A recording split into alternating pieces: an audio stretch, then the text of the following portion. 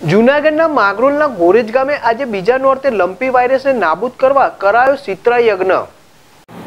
માંગરોળ તાલુકાના ગોરેજ ગામે આશરે ચાલીસ જેટલી ગાયોને લંપી વાયરસથી મોત થતાં ગામમાં શોકનો માહોલ જોવા મળ્યો હતો. હજુ પણ ઘણી બધી ગાયો બીમાર છે અને તે ગાયોને સમસ્ત ગામના લોકો દ્વારા લંપી વાયરસની દવાઓ કરે છે. પરંતુ હાલમાં સમગ્ર ગુજરાતમાં લંપી વાયરસનો હાહાકાર મચાવનાર લંપી વાયરસને નાબૂદ કરવા સીતરા માતાજીના મહાયજ્ઞનું આયોજન કરી સમસ્ત ગામના મરી આજે કોરેજ ગામે મહાયજ્ઞ કરાયો હતો. બીજી તરફ વડીલોનું માનવું છે કે આ લંપી વાયરસ પહેલાંના સમયમાં સીતરા નીકળતા હતા. તે પ્રકારનો આ લંપી વાયરસ જોવા મળે છે. જેથી આજે સમસ્ત ગામના મરી આ લંપી વાયરસને નાબૂદ કરવા યજ્ઞ કરાયો છે.